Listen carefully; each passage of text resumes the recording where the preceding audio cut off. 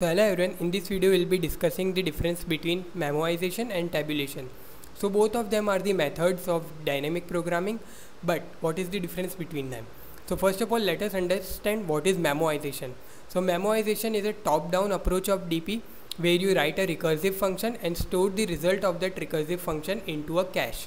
Now we do so to avoid the recomputation. Let's say if you have solved a particular sub-problem with the help of recursion now you store that answer into cache. Now when you come across that sub problem again you don't need to solve that particular sub problem again because you have already solved it previously and you have stored it somewhere. So this is the approach of memoization. Now let us talk about tabulation. So tabulation is the bottom up approach of dp where it doesn't require any recursive function. So obviously it is faster than the memoization approach. It uses iterative dp where it stores the result in some DP table.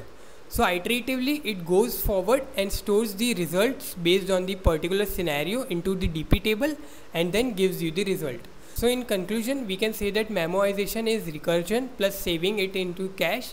It is slower than the tabulation approach whereas we can say that tabulation is faster than memoization because it uses the iterative approach no recursion function is used here. So I hope you understood and learned from these videos. Subscribe for more such videos. Thank you.